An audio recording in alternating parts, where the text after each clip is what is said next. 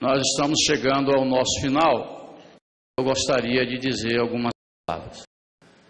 Eu me recordo que há uns 15 anos atrás, eu fui convidado para assistir a uma palestra, ou melhor, um encerramento de, de mais um, um PROERD ministrado nas escolas públicas do Distrito Federal. E foi uma das poucas coisas que me emocionou. A forma como que a sociedade participa, a forma como a polícia militar é reconhecida nesses momentos, e isso, evidentemente, é extensivo a todos os estados aonde a gente fica esta parcela de contribuição à sociedade. Nós sabemos que temos muitos problemas.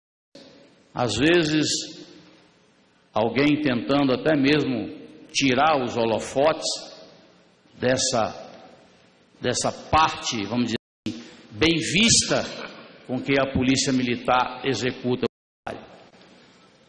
Se fosse coisa ruim, não estaríamos a todo instante tendo que nos defender para continuar desempenhando o papel do PROERD.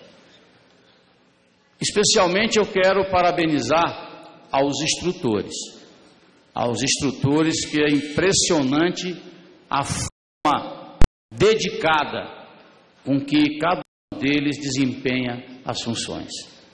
O amor que as crianças adquirem com aquele instrutor, a amizade, aquele relacionamento que quem está de fora imagina ah, mas não, isso não é possível. É um policial. As crianças adoram o instrutor do, do ProERD nas escolas. Isso deve acontecer em todo o Brasil. Eu falo pelo Distrito Federal. Aqui no Distrito Federal, as escolas brigam, e deve continuar assim, né, Coronel Matias? As escolas brigam pela, vamos dizer assim, instalação do PROERD nas escolas do Distrito Federal. Mas isso por quê, senhores? A gente sabe que hoje um número muito grande de crianças entram para o mundo das drogas por falta de conhecimento, porque não conhecem, não são alertadas. E aí vem o papel importante das polícias militares em todos os estados. Eu recebo uma informação aqui que em todo o Brasil, apenas em Brasília, apenas em Brasília, 650 mil alunos já foram formados desde o início do ProERD aqui em Brasília. E o ProERD está implantado desde 1992 esse tipo de políticas públicas é que os governantes deveriam dar maior, muito mais prioridade para que as nossas crianças verdadeiramente saibam o que é a droga, saiba a consequência do uso da droga. Eu não tenho dúvidas. Se nós conseguíssemos avançar mais, hoje nós temos aqui representados apenas sete estados. Deveria estar todo o Brasil aqui, todo o Brasil, dando importância a uma ação tão importante quanto essa.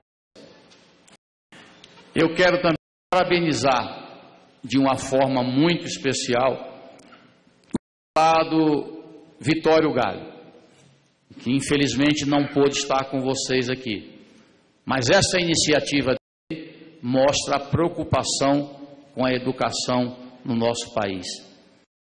E ao fazer uma sessão solene, aonde se quer homenagear os instrutores e aqueles que ainda continuam lutando para desempenhar esse papel, fica os nossos agradecimentos ao deputado Vitório Gale, que foi o autor desse requerimento de sessão solene.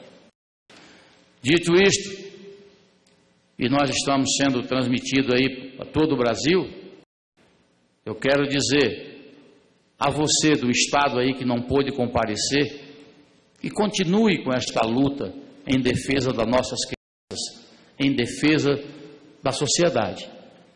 Porque o PROERD é tão importante que quando este curso, assim, é ministrado, até os pais entram no processo e reconhecem a importância da repreensão, da repressão contra o uso de drogas nas escolas. Olha, mais uma vez, eu afirmo que o que depender de nós aqui no Congresso Nacional para que esse esse programa caia no esquecimento, pode ter certeza que nós estaremos na frente, à frente de qualquer ação que venha prestigiar e beneficiar o programa. Eu tenho dito sempre, Coronel, que quando a Polícia Militar vem aqui nesta casa, nunca é para pedir aumento de salário, é só para pedir para trabalhar. É impressionante.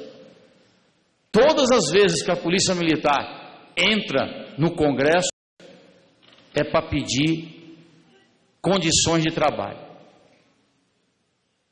Nunca vi, nos meus cinco mandatos de deputado federal, nunca vi a Polícia Militar de qualquer parte do país vir aqui lotar as galerias pedindo aumento salarial. Tivemos aqui a votação da PEC 300, que cria um fundo para todas as polícias militares, ISO, perdão, votou em primeiro turno de forma unânime. unânime. As galerias estavam vazias. Não tinha um policial militar ou bombeiro militar presente.